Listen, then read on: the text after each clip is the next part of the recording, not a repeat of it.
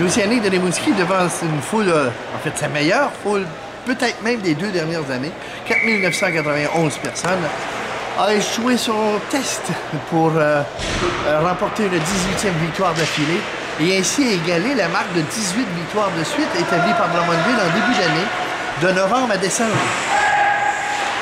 Bien sûr, 17 victoires en ligne, ça se signale, on peut pas mettre ça, hein, on peut pas jeter ça à la poubelle.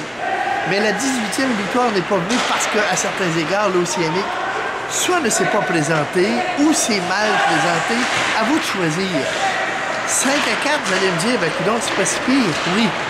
Mais c'est 11 à 5 les lancers après la première période. 16 à 2 les lancers en deuxième pour l'adversaire. Donc, c'est rendu 27 à 7 après 40 minutes de jeu. Qu'on ne nous dise pas que l'Océanique s'est bien présenté.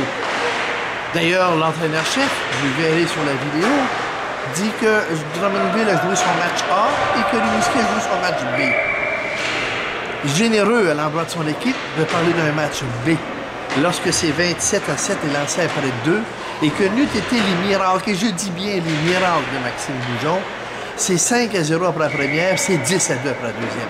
Facile pour Drummondville, qui est une machine à marquer des buts. Rimouski n'a pas gagné beaucoup de batailles à un contre un le long des rampes. Euh, sur le plan physique, ne s'est pas imposé. Habituellement, Rimouski est beaucoup plus physique que ça.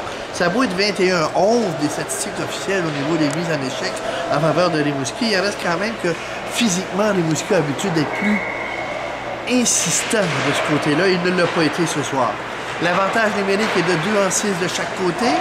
Mais l'histoire du match, c'est beaucoup joué en deuxième période, alors que Rimouski, lui, menait 3 à 1, 3 lancés sur 7, 3 buts sur 7 lancés, mais a écopé de deux pénalités sur le même jeu, deux pénalités mineures, une dans sa fond zone et une dans la zone adverse.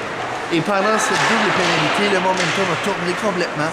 Euh, le Drummondville a marqué un but et ensuite a égalisé pour faire 3 3 pour rentrer en chambre avec une avance, avec une égalité.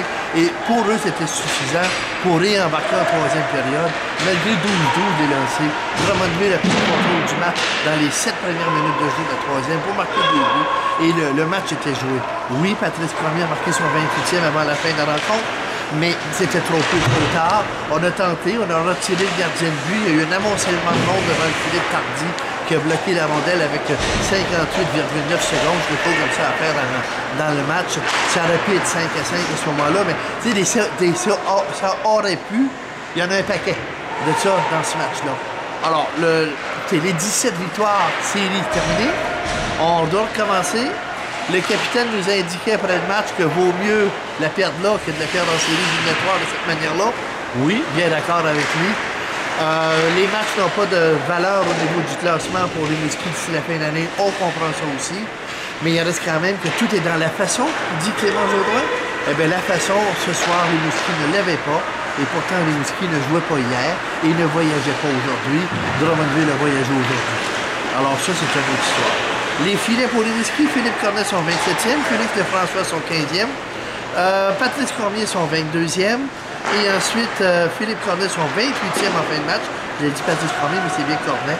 Les lancés au total 39 à 19.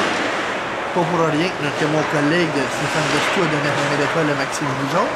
Christopher Di Domenico eu la deuxième. Kevin eu la troisième. Un très bon choix. Alors, 5 à 4, c'est le pointage final. C'est pas déshonorant, c'est contre la meilleure équipe de la Ligue. Tout est dans la façon, dirait c'est grand monsieur. On verra si la façon va revenir contre Montréal, parce que c'est tout mardi soir au Colisée de Rimouski, le junior de Montréal est visiteur.